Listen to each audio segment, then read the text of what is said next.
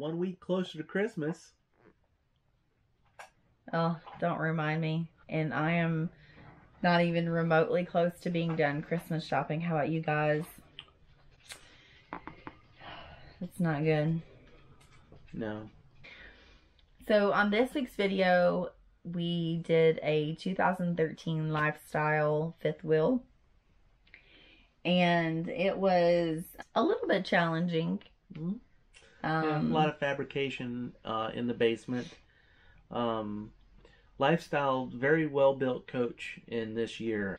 let's check out this install right now. Okay, next up, a lifestyle 2013 LS36FW. This is kind of the before. They get down in the bay. So, um, this is the left-hand wall in the basement. Steps are over that way. Um, goes at an angle. I don't think I'm going to be able to mess with it too much. I'm just going to have to go with what's here as far as space. But however, I will be able to recess things inside this wall. And um, there's also uh, there's a water tank right here that comes up to about this high. Uh, this whole space up above here, I would have to frame it in, but the entire way across, except for about right here, is available uh, for you know recessing equipment, hiding things inside the wall. Uh, we're going with 400 amps of Battleborn lithium. Uh, we're going with uh, 900 watts of solar on the roof. Uh, Multiplus 3000. Uh, the MPPT is a 150 slash 100. And what else do we have? BMV 712 Smart. I think that's it. So I'm gonna get started taking things apart. All right. So in the first part of the build is the tear out. So I just wanted to take a peek behind the wall and take uh, see you know uh, how much space we have to work with. Um, we really wanted to be on this side of the coach because uh, to balance out some weight issues that he had um, with his uh, load. So start measuring and planning and calculating and putting everything kind of uh, spatially. Uh, had to relocate the the uh, central vac.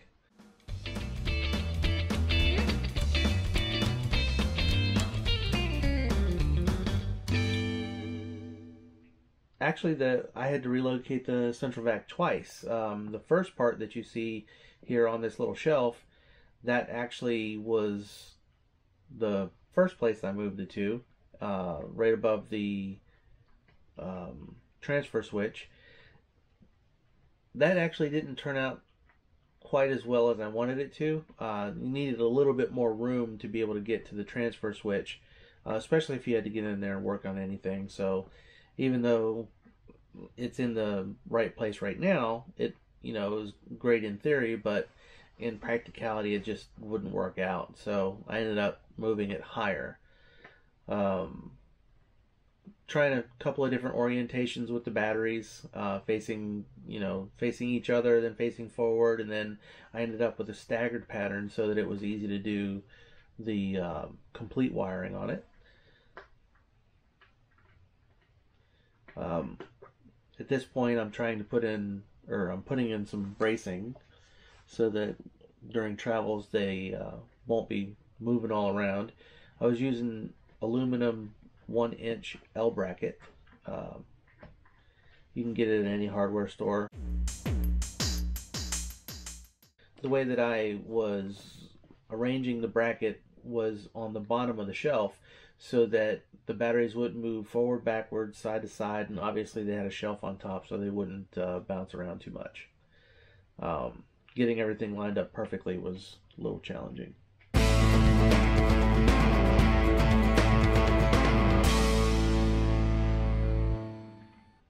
Next, we're planning on where the Multiplus will go. I wanted it to be mounted as high as I could get it so that I would have room underneath it to run a lot of the wiring. I recessed it in the space so that it would come flush out to the front. A lot of the challenges with the Multiplus is despite its size, it is 9 inches deep, 10 inches wide, and 14 inches tall. The that little thing weighs about 40 pounds. So whenever you're doing a build out and you're putting one in, you've really got to make sure that all your framing is very sturdy, it's secured on multiple points.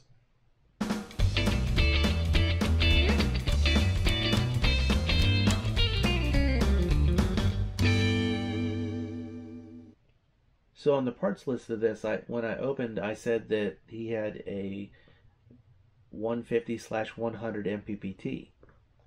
Actually, that wasn't the case. He had a 100 slash 50.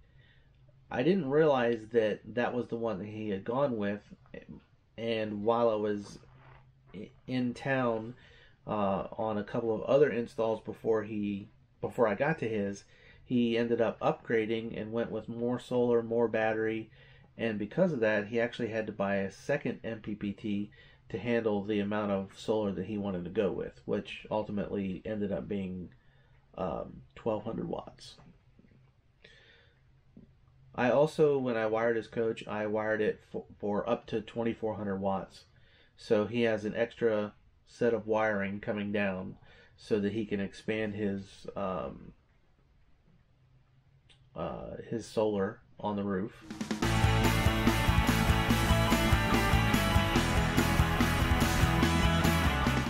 Now just trying to button up all of the wiring, getting everything kind of put into place. You can see the panel that I put in that has the shutoffs and fuses and uh, circuit breaker on it.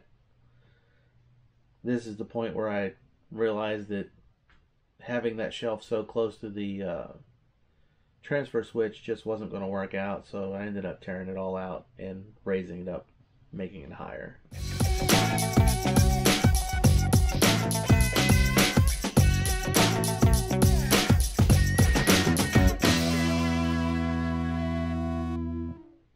Once I get all the batteries wired, the next thing to do is to start putting in um, the automation and getting the interrupt so the to insert the multi-plus wiring uh, in between the transfer switch and the main uh, breaker panel.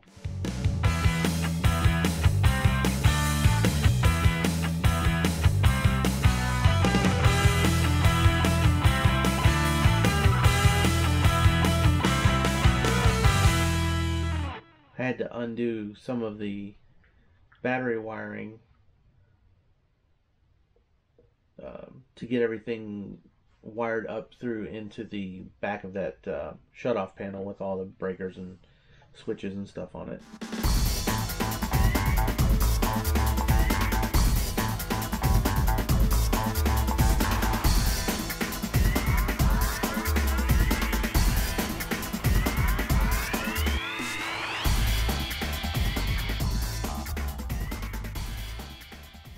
To make out the rest of the cables to get everything all connected.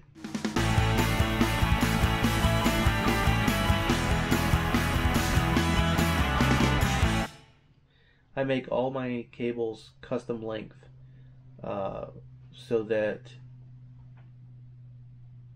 everything is is more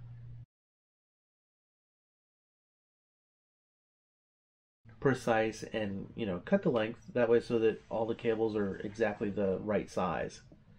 That I use um, 2 aught going to uh, in between all the batteries. Uh, if the batteries are very far from the multiplus then I have to go up in the gauge of wire. To connect the coach wiring the 12 volt wiring over to the um, multiplus, the, the new power source for for your your DC power.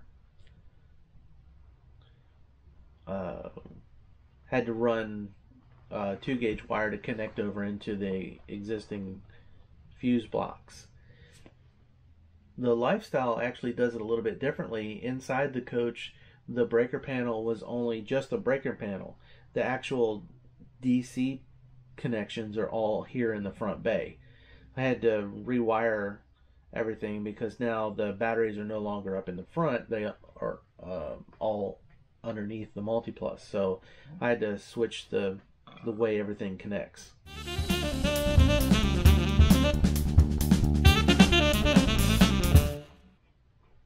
Once I got all that reconfigured and put back together,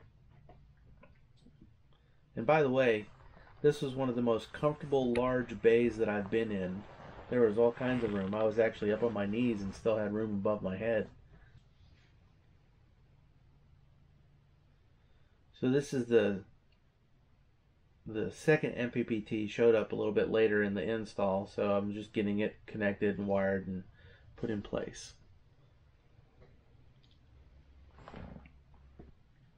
Getting the box, the uh, combiner box all connected.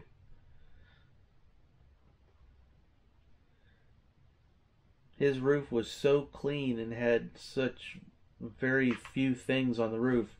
I could have gotten eight 300 watt panels uh, up on the roof.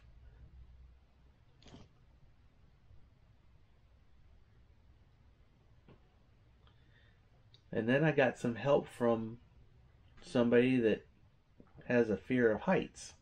So You're good. this is the first roof that she was ever up on to help me with.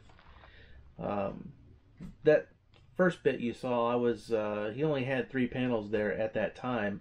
I went ahead and wired and put the brackets on the roof for the fourth panel, which will be arriving later. Just getting everything wired up. Uh, we the owner wanted to go with a little bit different configuration. He's not going to go full 2400 watts on the roof, but um, he does want to expand it later on.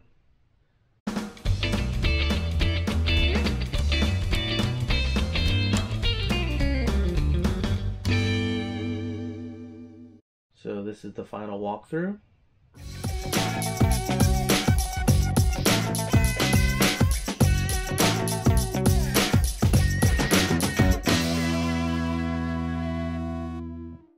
There's all the brackets for the next roof, uh, the next panel. All he has to do is plug in on that uh, combiner.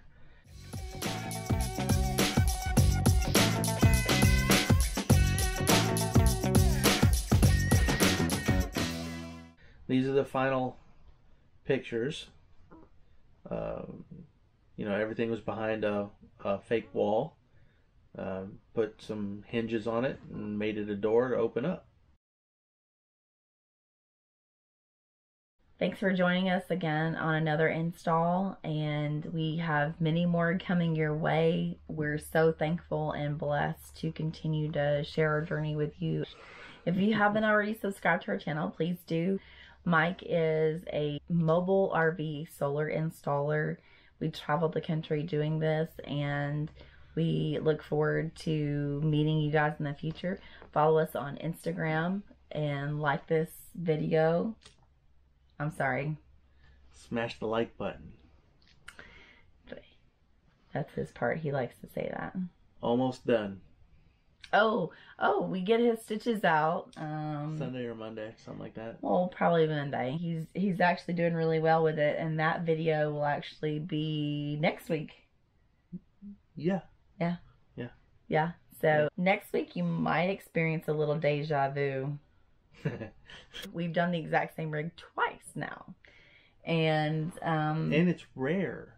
it's a rarer coat, so it's it's pretty exciting. Mike did some different The orientation, some some things ended up being a little different in the in the second version, round two. Mm-hmm. Yep.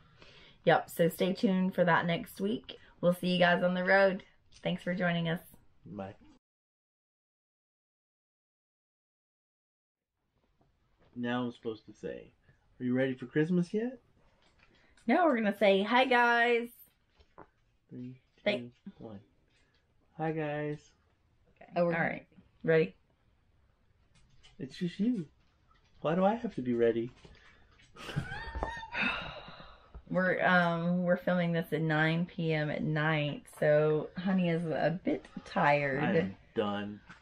we won't tell you via video because we're not we don't like to badmouth any specific manufacturer but if you ever catch us on a margarita night at a mexican restaurant and you happen to ask us which manufacturer we're not going to buy we will definitely tell you yeah, yeah. There's actually a couple that we won't buy. yeah Hey, but one, lucy get down Come here. come on put your head in my armpit, little turd. Thank you all very much. if you have Smash the like button. oh okay. Chill out with that. Oh my gosh. And